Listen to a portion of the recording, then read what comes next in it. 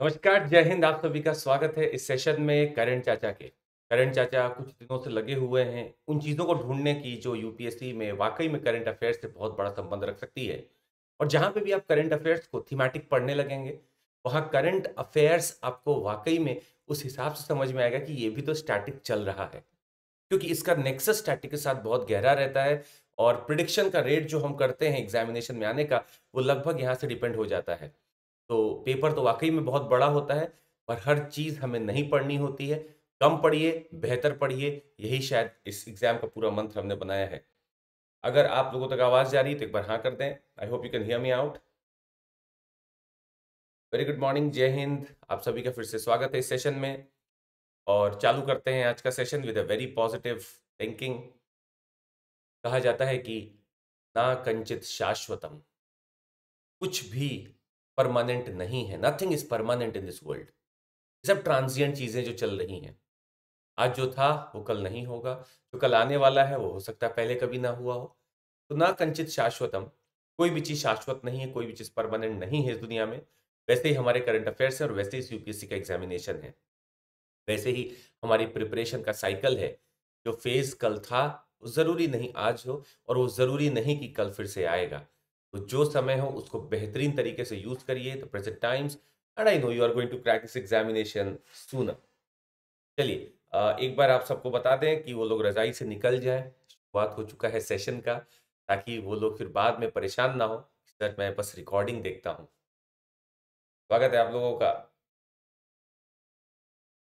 आवाज़ पहुँच रही है आपको? Very good morning good morning everyone जय हिंद जय Hind. Good morning good morning Sunidhi ji, Sanyukta ji, Prabhat ji, Naju ji. Good morning, everyone.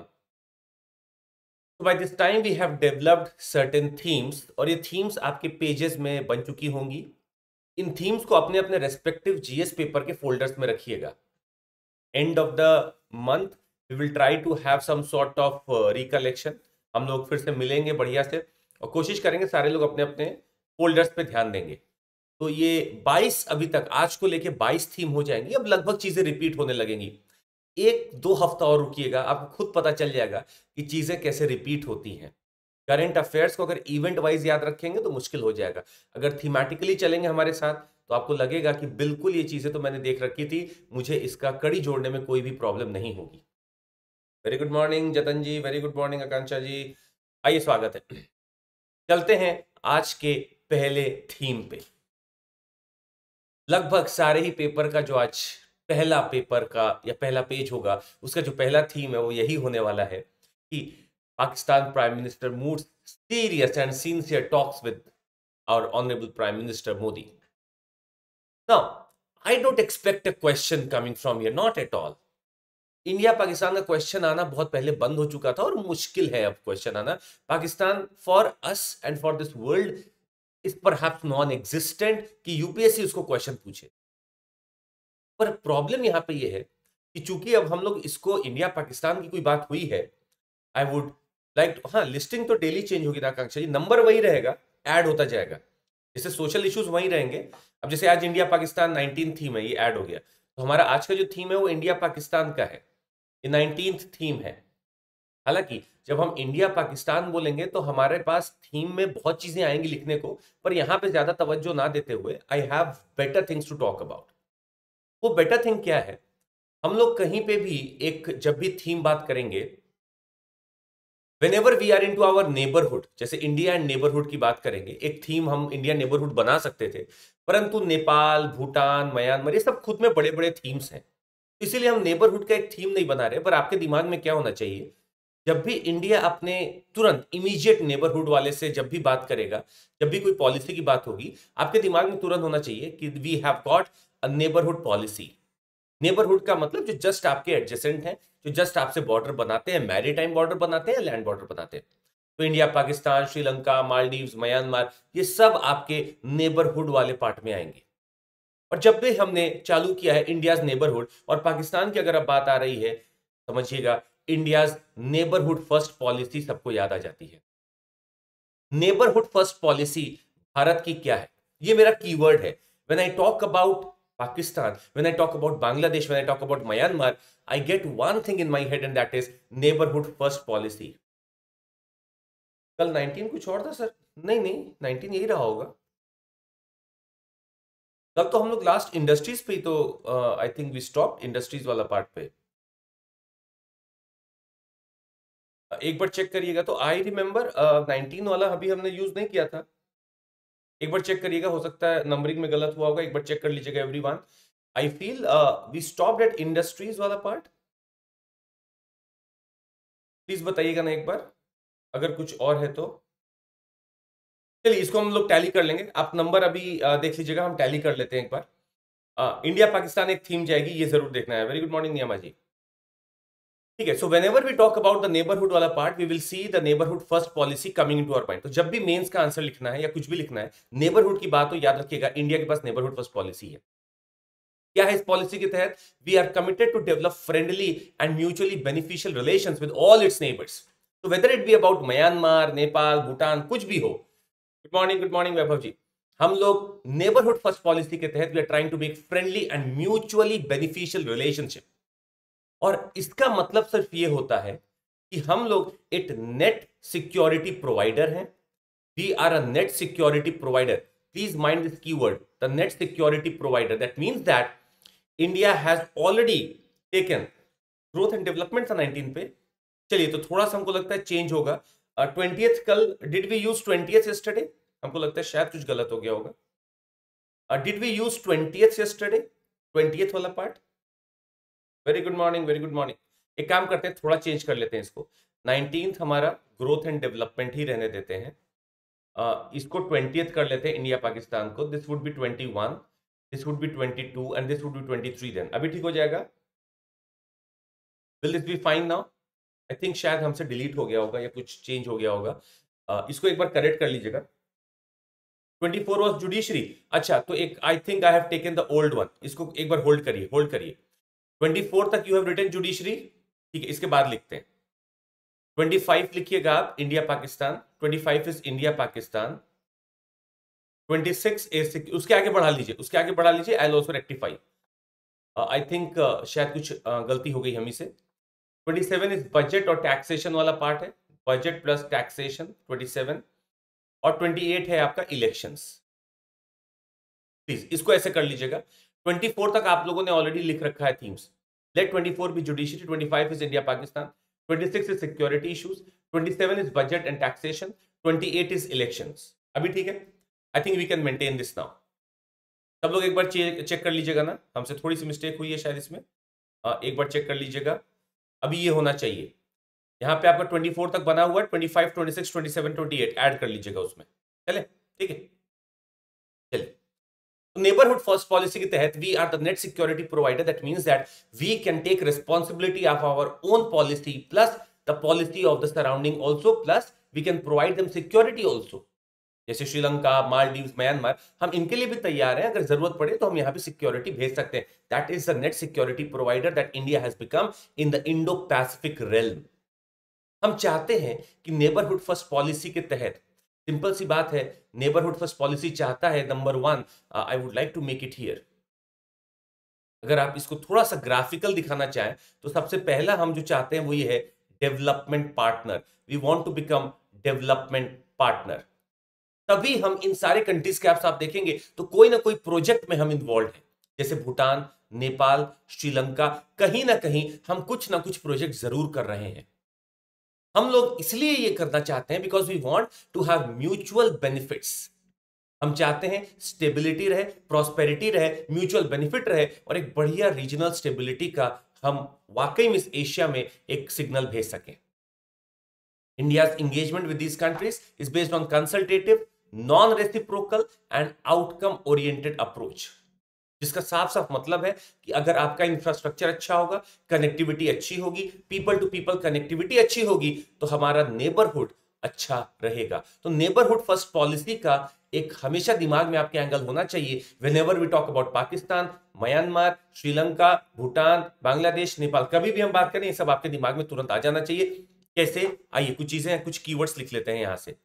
Let's write down some keywords the keywords for neighbourhood first policy This neighborhood first policy talks about as net security provider at net as net security provider दूसरा अगर आप देखेंगे we are active active development partners we are active development partners active development partners we want connectivity we want connectivity whether it be about your people to people connectivity or it be about infrastructure, हम लोग इन चीज़ों पे बहुत अच्छे से ध्यान देते हैं।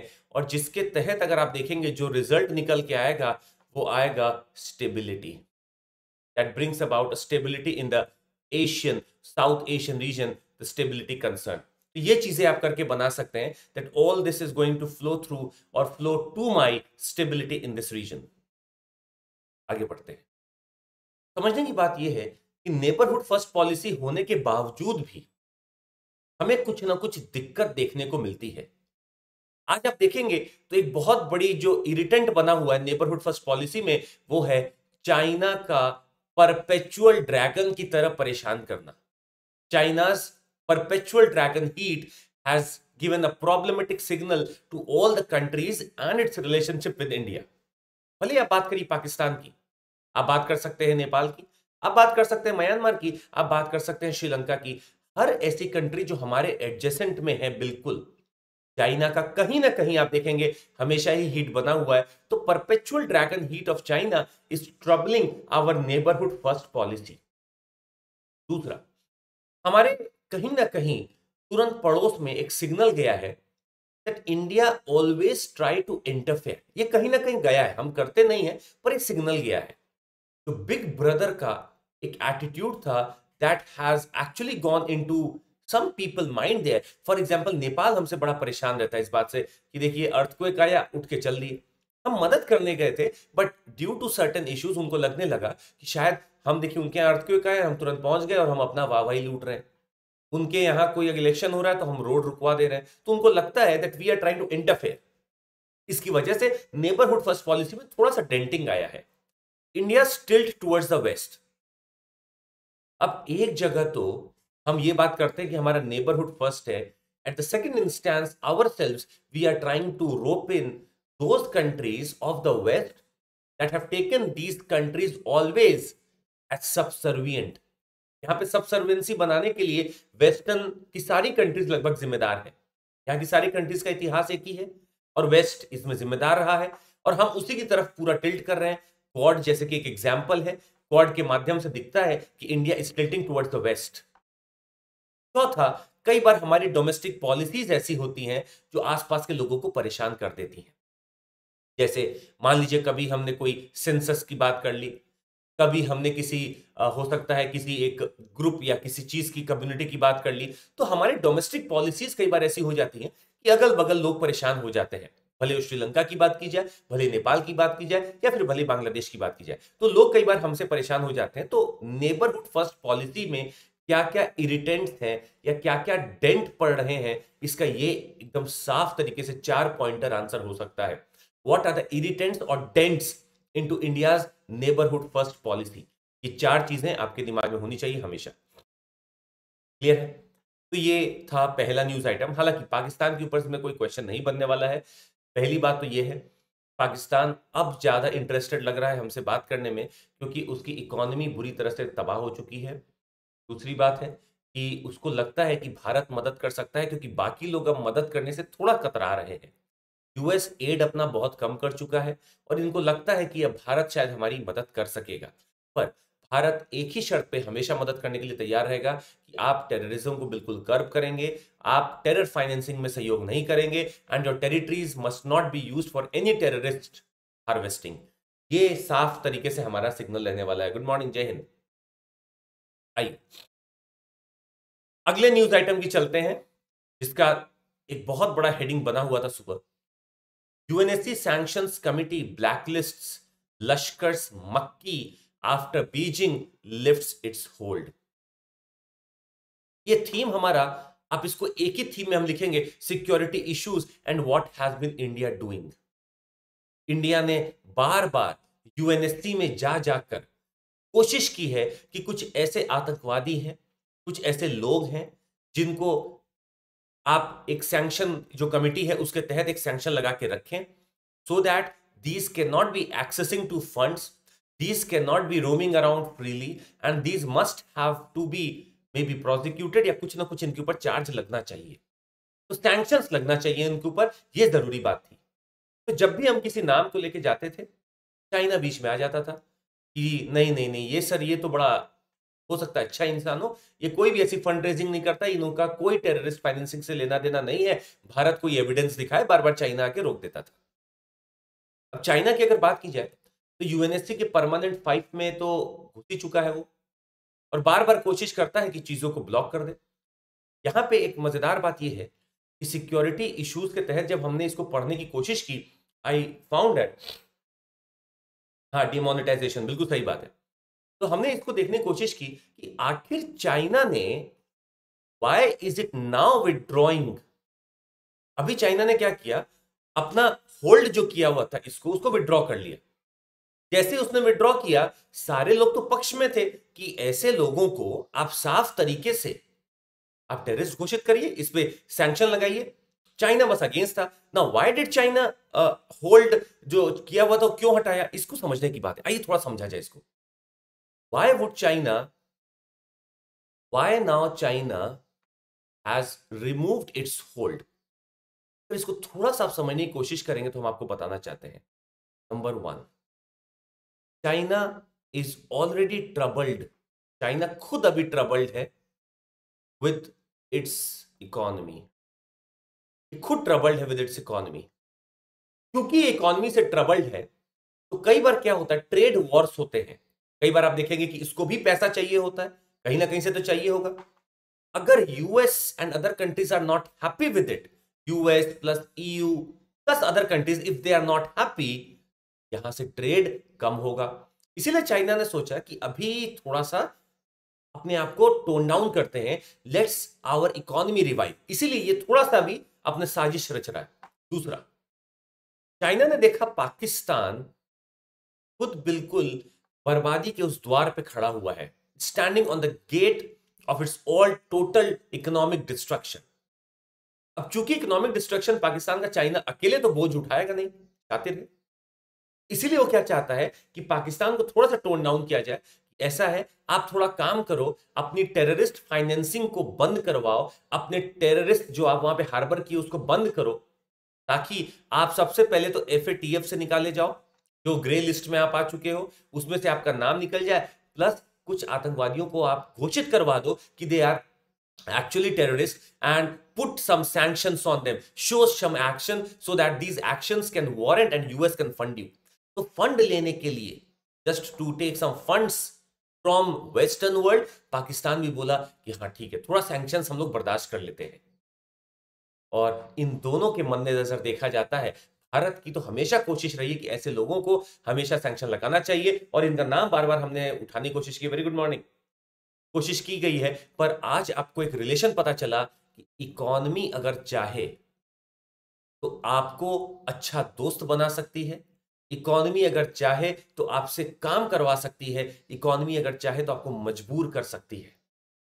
तो इकोनॉमी का आज का अपरिवेश पूरा देखेंगे, पहले हो सकता है इकोनॉमी का इतना बड़ा रोल नहीं था, पर आज वॉर से लेके रिलेशन से लेके सैंक्शन से लेके हर चीज़ में इकोनॉमी का रोल देखने को मिलता है। अगर ये प्रश्न कभी मेन से बनता है हाउ माइट और how powerful might is of that economy working with the global order today yes it has been a very important angle आप कितना किस हिसाब से वर्किंग करते हुए द इकोनॉमी कैन प्रूव और can try to actually help you do other things also economy है तो इन्वायरमेंट पे इंपैक्ट अच्छा पड़ सकता है। इकोनॉमी है तो आप, हो सकता है कि कुछ टेक्नोलॉजी बना लो। इकोनॉमी है तो आप अपने प्रेशर से क्लाउड से किसी को भी आप ऐसी चीज़ों को करना है, अगर सैंक्शन लगवाना है तो आप लगवा सकते हो। तो इकोनॉमी का यहाँ पे एक माइट हमको देखने को मिलता है। क्या हमें एक चीज़ ये भी समझना होगा, Pakistan collapsing economy also help since prime minister Shahbaz Sharif does not want to risk inviting the ire of the US and other countries as he has been seeking financial support by way of easy loans and grants. ये कल हमने बात की भी थी एक session में। पूरी तरह से बर्बाद हो रहा है तो उसको लोन और ग्रांट चाहिए।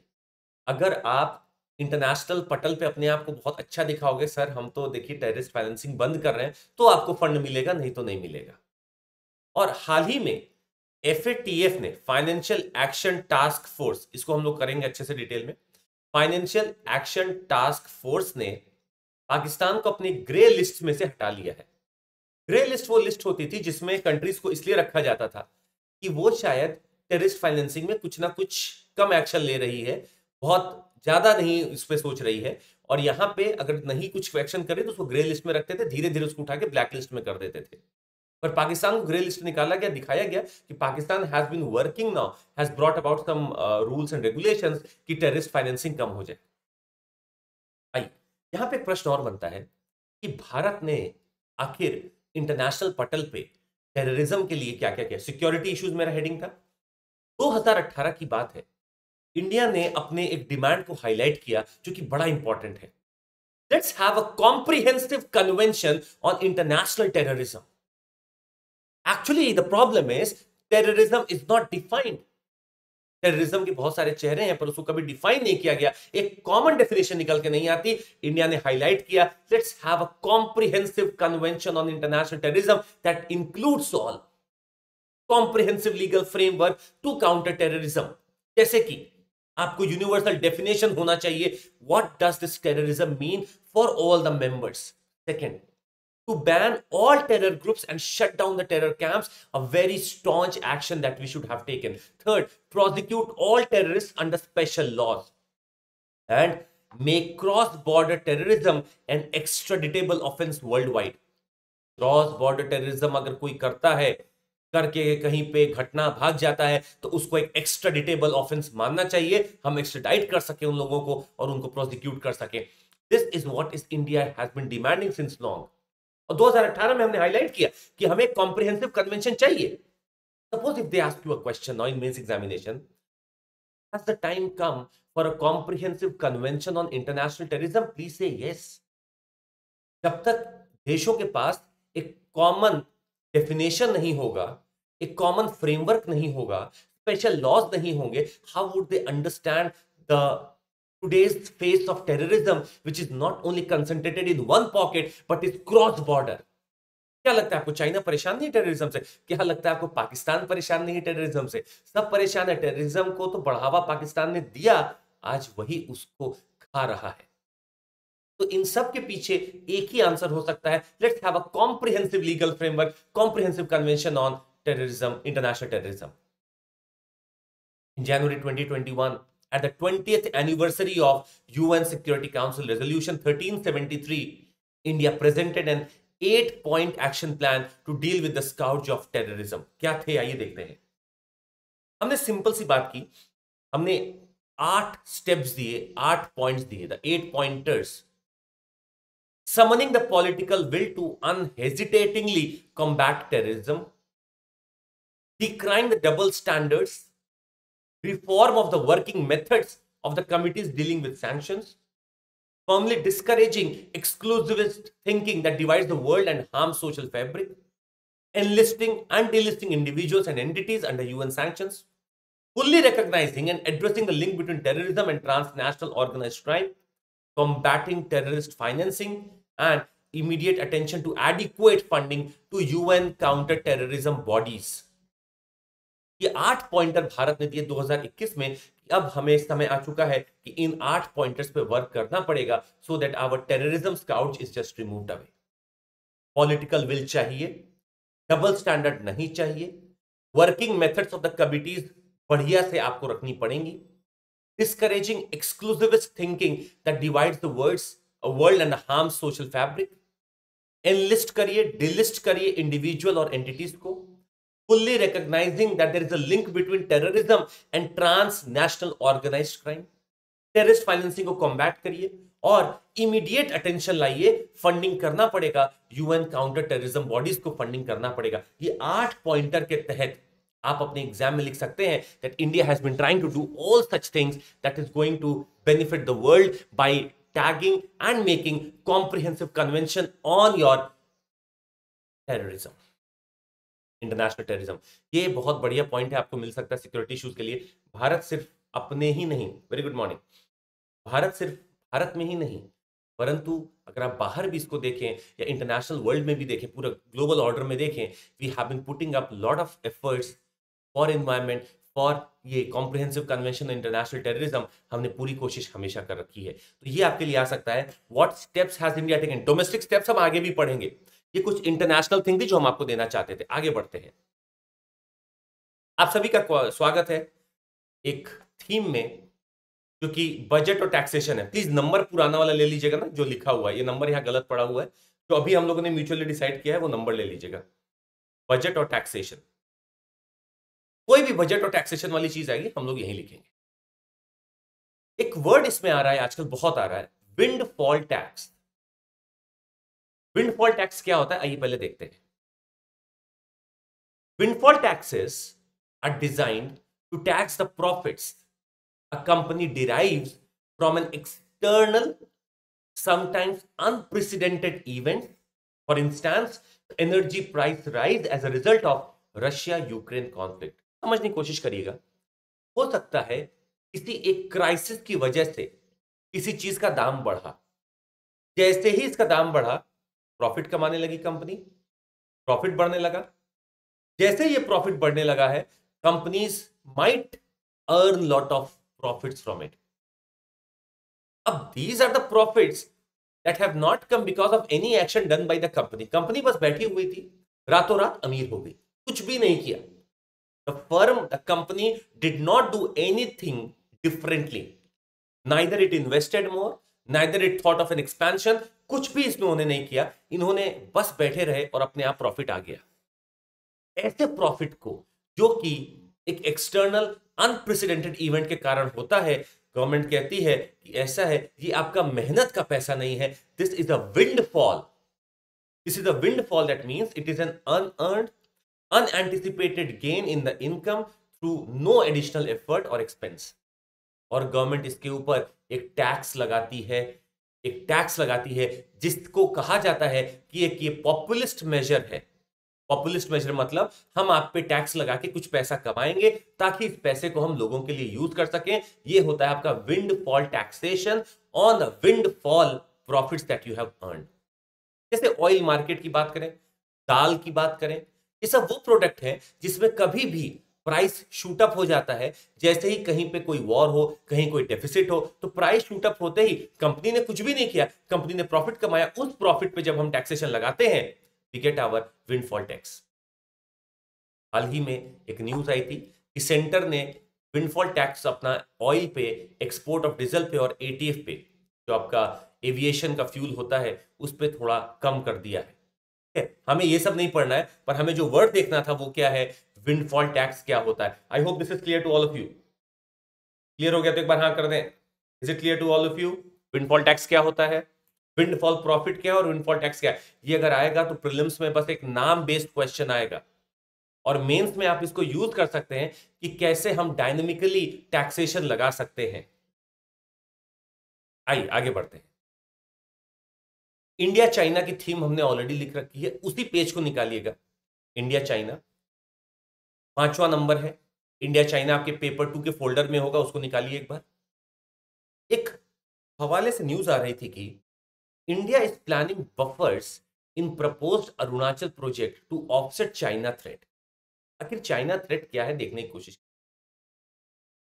भारत और चाइना के बीच में बहुत सारे विवाद हो सकते हैं, बहुत सारे रिश्तों को खराब करने के इरिटेंट्स हो सकते हैं, परंतु एक नदी है क्योंकि वाकई में strategically geopolitically environmentally biodiversity wise is impacting our relationship और उस नदी का नाम है ब्रह्मपुत्र नदी। चाइना अपने ब्रह्मपुत्र वाले सेगमेंट में बहुत सारे डैम ऑलरेडी कंस्ट्रक्ट कर रहा है और हाल ही में एक मेगा डैम का कॉन्सेप्ट चाइना ने दिया जो हम आपको इमेज के थ्रू दिखाना चाहेंगे। आप देख सकते हैं, ये हमारा सुंदर अरुणाचल प्रदेश है और ठीक सुंदर अरुणाचल प्रदेश के ऊपर अगर आप देखेंगे तो जो तिब्बत वाला पार्ट है, वहाँ पे एक एरिया है जिसका नाम है Medog area M E D O G Medog area. China यहाँ पे एक मेगा डैम बनाने की बात कर रहा है और ये कोई ऐसा वैसा मेगा डैम नहीं है। ये आप देख सकते हैं इसका यूनिट साठ हज़ार मेगा वॉट साठ हज़ार मेगावाट का या सिक्सटी गीगावाट का एक कैपेसिटी का dam, super dam, mega dam बनाने की बात कर रहा है। खुद सोच, सोचने की कोशिश करिएगा आप। इस नदी में, जो कि ब्रह्मपुत्रा हमारे यहाँ है, इनके यहाँ यारलुंग सैंगपो के नाम से जानी जाती है this has already been under so many of dams और so much of dams construction already हो चुका है और जब आप 60 गीगावाट की बात करते हैं it is something that we must be always अगर हम देखें तो थोड़ा सा हमें डर लगता है। थोड़ा सा बात करते हैं इसके ऊपर। तो यहाँ पे हमने देखा कि चाइना अपने डैम्स कंस्ट्रक्ट कर रहा है। Being an upper riparian state it is constructing dams हमारे और चाइना के बीच में एक करार हुआ था एन एग्रीमेंट वॉज़ देयर कि आप हमसे सारा डैम का इंफॉर्मेशन शेयर करेंगे. Without sharing you should not make any dam but the problem is China तो चाइना जैसे बिहेव करेगा. चाइना ने शेयर बहुत कम चीज़ें हमसे की. हमें सैटेलाइट इमेजरी द्वारा पता चलता है कि वो डैम बना रहा है. हमने कोशिश की कि हम भी कुछ करें. हमने अपने अरुणाचल प्रदेश के अपर सियांग डिस्ट्रिक्ट में एक प्लान किया है 11,000 मेगावाट प्रोजेक्ट।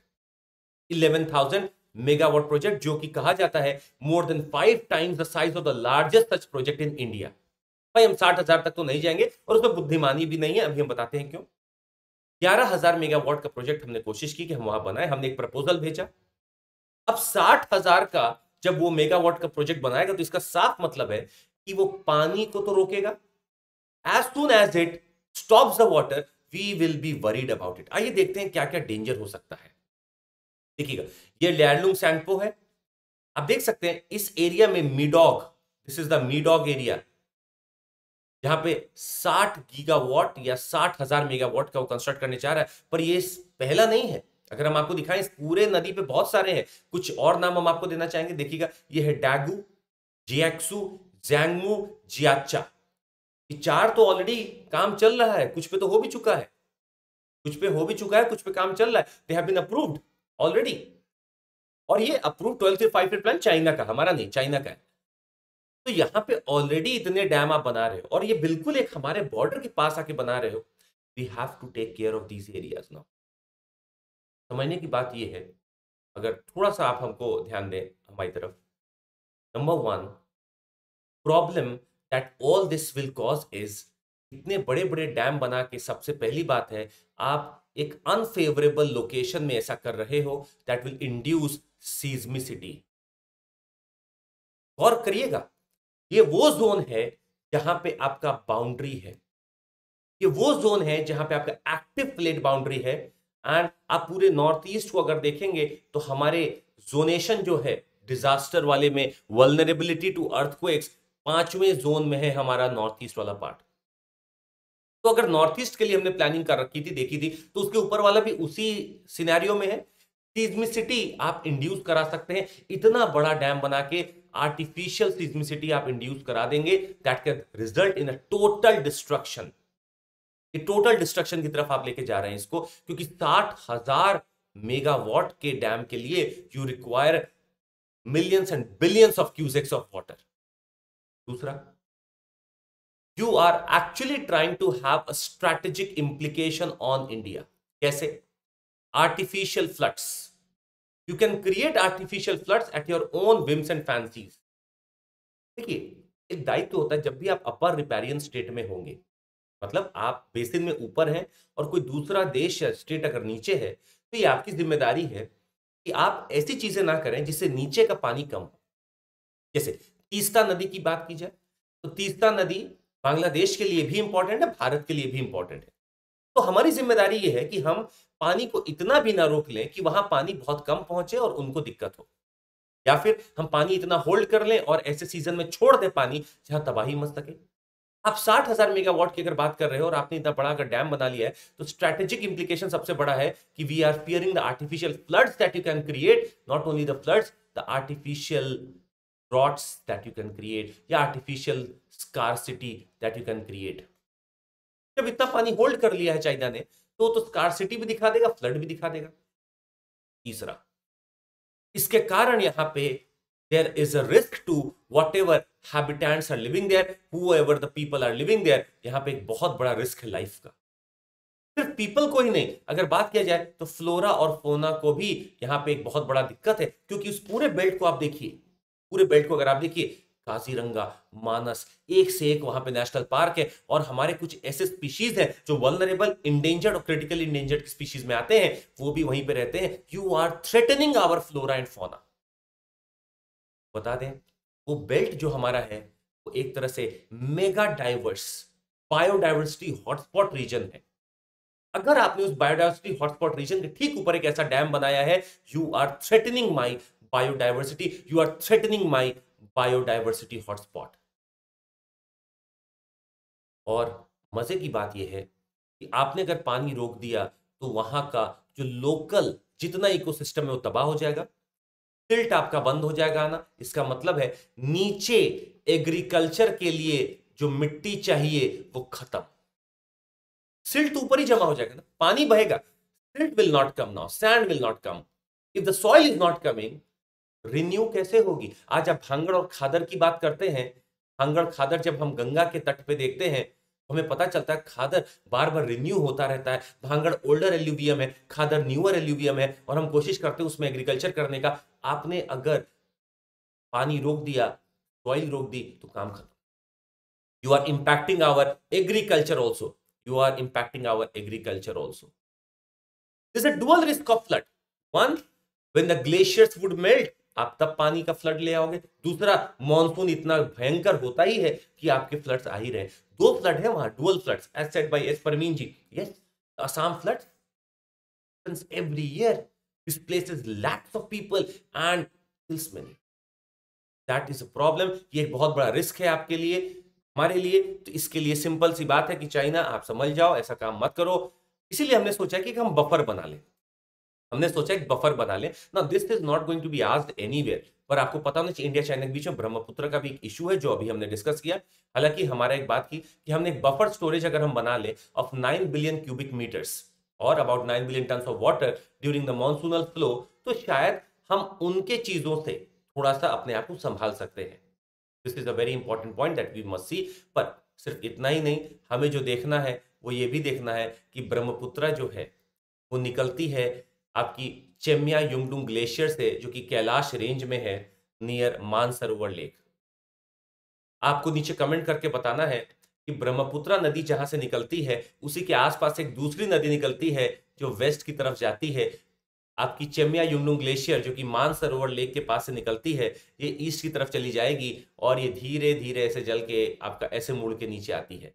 दो चीज़ों का जवाब दीजिएगा, ये कौन सी नदी है जो वेस्ट में जा रही है? और दूसरा यहाँ पे कौन सा ऐसा हिल है या कौन सा ऐसा पॉइंट है जहाँ पे सिंटैक्सिकल बेंड होता है इस नदी का और वो गॉर्ज बनाते हुए अंदर की तरफ़ मुड़ जाती है? यहाँ पे ऐसा कौन है ये आप बताइएगा।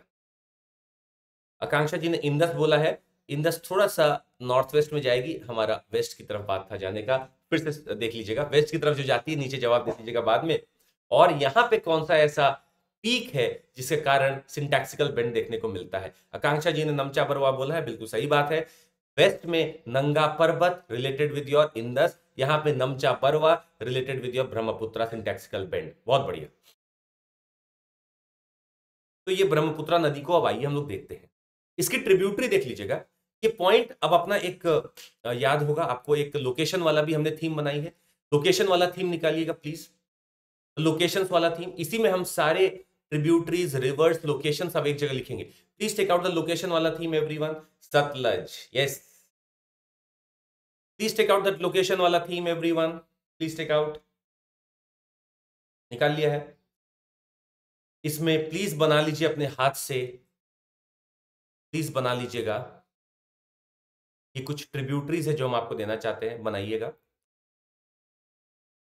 दिबांग, सियांग दिबांग सियांग, सुबानसिरी, कामेंग, मानस।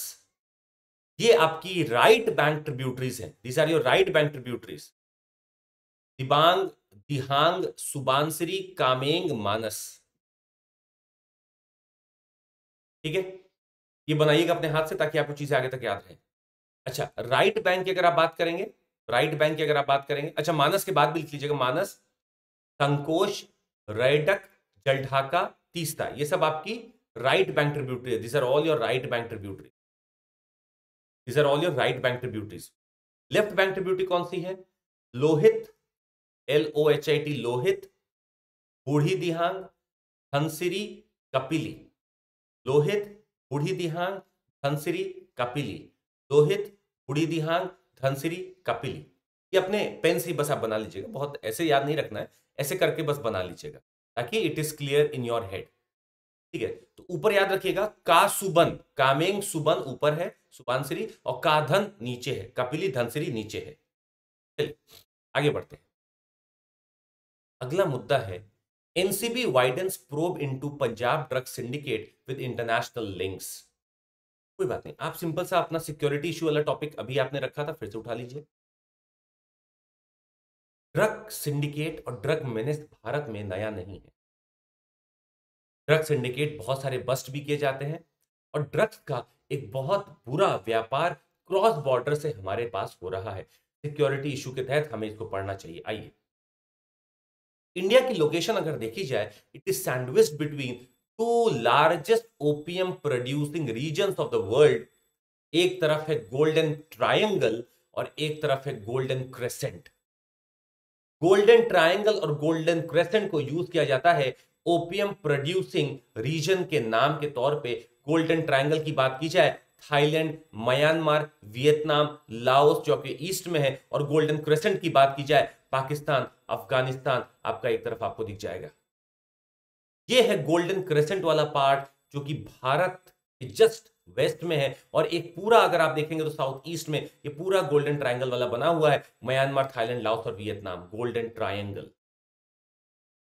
और चूँकि आप देखेंगे कि यहाँ पे ही, अगर आप देखिए चूँकि बॉर्डर पे है, इस वजह से क्या प्रॉब्लम है कि यहाँ पे drug trafficking drug trafficking is done so easily may be in the name of the porous border border को डिमार्केट हमने तो कर रखा है।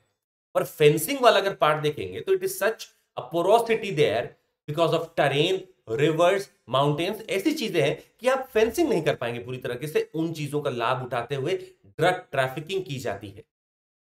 ये ड्रग ट्रैफिकिंग कहीं ना कहीं एक बहुत बड़ा मुद्दा बनती है टेररिस्ट फाइनेंसिंग बहुत बड़ा मुद्दा बनती है। ये ड्रग्स अपने यहाँ से बना के हमें बेचते हैं। देखिए क्या माहौल चल रहा है। गोल्डन क्रेसेंट से ड्रग आता है भारत में इंडिया में। और इंडिया जब ड्रग यहाँ पे ट्रैफिकिंग के थ्रू भेजा जा रहा है तो यहाँ से कुछ पैसा गया यहाँ पे। अब ये पैसा ये लोग यूज़ करते हैं टू प्रमोट टेररिज्म इन्हीं चीज़ों को रोकने के लिए अगर आपको टेररिज्म पे वार करना है तो आपको ड्रग ट्रैफिकिंग पे भी वार करना पड़ेगा। तो हर चीज़ कहीं ना कहीं आके जुड़ जाती है। अगर आपका वार ड्रग ट्रैफिकिंग पे है तो आपका वार टेररिज्म पे भी है। सिमिलरली यहाँ पे भी देखेंगे आप, ये जो तीन कंट्रीज़ या चार कंट्रीज़ यहाँ ट्रायंगल में है वियतनाम लाओस थाईलैंड और म्यांमार यहाँ पे आप देखेंगे कि ये लोग भी अगर ड्रग अगर ऐसा उगा रहे ओपीएम उगा रहे हैं और कहीं ना कहीं से ट्रैफिकिंग करने की कोशिश कर रहे हैं और पैसा कमा रहे हैं तो हो सकता है यहाँ पे भी कुछ ऐसी एक्टिविटीज़ जैसे म्यांमार में देखने को मिलती है कि वहाँ पे भी आपका बढ़ावा मिल सकता है। हाँ मुंद्रा पोर्ट से भी, बिल्कुल। मतलब ये सभी जिम्मेदार है, ना हमारा ऐसा लोकेशन है। गोल्डन क्रेसेंट वेस्ट में है, याद रखिएगा। गोल्डन क्रेसेंट वेस्ट में है। और गोल्डन ट्रायंगल हमारे ईस्ट में है। India is one of the world single largest opiate markets in terms of users and would likely be vulnerable to increase supply इसका पूरा का अगर पूरा हम एक एनालिसिस करना चाहें तो भारत की डेमोग्राफी अगर आप देखें इस समय एडल्ट्स अगर डेमोग्राफी आप अगर देखें अनएम्प्लॉयमेंट ये दो चीज़ों को अगर आप थोड़ा सा मिला दें तो आप समझ सकते हैं कि आखिर परेशानी क्या बन सकती है। India is set to be one of the world single largest opiate markets in terms of users. This is because the intensification of trafficking in opiates originating in Afghanistan समझिएगा? According to World Drug Report of 2022, India has the fourth largest quantity of opium seized in 2020 at 5.2 tons and the third highest amount of morphine was also seized in the same year at 0.7 tons. मतलब drug seizing में अगर देखा जाए तो Bharat fourth largest है हालाँकि अगर आप सेंट्रल अमेरिका को देखेंगे इस मैप में आप देख सकते थे ये वाला पार्ट भी जो पूरा है मेक्सिको पूरा लगभग हम इसको लेना चाहेंगे। ये पूरा पार्ट तो ड्रग के लिए जाना जाता है। बहुत सारी मूवीज़ भी इस पर आप देख सकते हैं ड्रग के लिए बनी हुई है सिंडिकेट्स हैं यहाँ पे। और ये पूरे इसकी व्यवस्था को खराब कर रखा है, इस पूरे पार्ट ने। हम ऐसी चीज़ भारत में नहीं होने दे सकते। इंडिया पे जब कहा गया fourth largest quantity of opium seized है, इसका मतलब है कहीं ना कहीं से वो ट्रैफ़िक की जा रही थी। एक वर्ड इसमें निकल के आता है डार्क नेट डार्क नेट एक ऐसा हिडन इंटरनेट प्लेटफॉर्म है जिसको यूज़ किया जाता है ड्रग सेल के लिए। सोचिएगा ड्रग ट्रैफिकिंग के लिए dark net good morning good morning dark net refers to the hidden internet platform use for narcotic sale exchange of pornographic content and other illegal activities by using the secret alleys of the onion router TOR TOR मतलब आप use करते होंगे इसको, ये एक proxy software type का होता है। Free and open source software for enabling anonymous communication Tor को यूज़ करके आप चीज़ों को डाउनलोड कर सकते हैं एक्सचेंज कर सकते हैं information so that you are protected from the eyes of the surveillance and enforcement agencies. तो डार्क नेट का यूज़ किया जाता है ड्रग सेल का। अब इसमें एक बात निकल के आती है, आज अगर आप टेक्नोलॉजी की बात करें तो टेक्नोलॉजी सिर्फ़ अच्छा करने में नहीं लगी है, उसको यूज़ किया जा रहा है ड्रग सेल में भी। टेक्नोलॉजी के साइड इफ़ेक्ट ये भी हैं, इसको कुछ लोग यूज़ करते हैं ड्रग सेल में ड्रग ट्रैफिकिंग में। एंड टू एंड पूरा इंक्रिप्शन रहता है, इसको कोई क्रैक नहीं कर पाता है, पैसा भी चला जाता है, कोई क्रैक नहीं कर पाता है। तो डार्क नेट एक ऐसा हिडन इंटरनेट प्लेटफॉर्म है, जिसको डिसाइफर नहीं किया जा पा रहा है। हाल ही में, एक साल पहले की बात है कि डार्कनेट में से भी किसी लोगों को सिंडिकेट को पकड़ा गया था। तो लोग लगे हुए टेक्नोलॉजी में दोनों तरफ़ का ही चल रहा है रुझान बट आज आप समझ सकते हैं कि टेक्नोलॉजी बुरी चीज़ों को करने में भी आगे हो सकती है। इसमें एक वर्ड यूज़ हुआ है नार्कोटिक्स कंट्रोल ब्यूरो आपको बता दें, ये 1986 में बनाई गई थी under the narcotics drugs and psychotropic substances act 1985 जो कि एक स्टैट्यूटरी बॉडी है।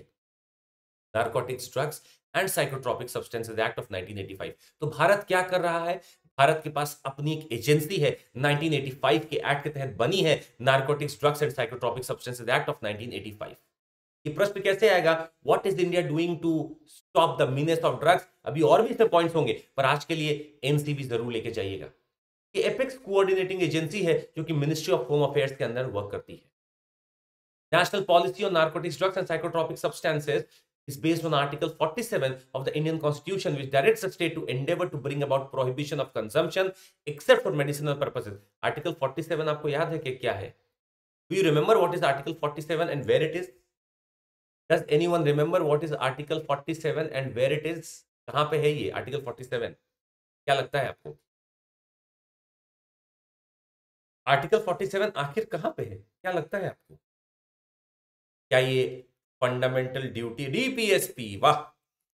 ये हमारा एक डीपीएसपी है। तो आप देख सकते हैं, मेरे ड्रग का या कंजम्पशन का for all such prohibition of consumption etcetera etcetera intoxicant drugs का ज़िक्र हमारे डीपीएसपी में भी है। ये पॉइंट टू बी नोट होना चाहिए।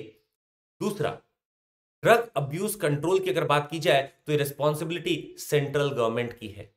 मतलब सेंट्रल गवर्नमेंट के लिस्टिंग में ड्रग अब्यूज कंट्रोल है। It is a responsibility of the central government और नार्कोटिक्स और साइकोट्रॉपिक सब्सटेंसेस एक्ट 1985 में इनैक्ट किया गया था, जो कि it provides for the penalty of property derive from और use in illegal traffic in the narcotic drugs act made an express provision for constituting a central authority, इसीलिए हमारा narcotics control bureau निकल के आया।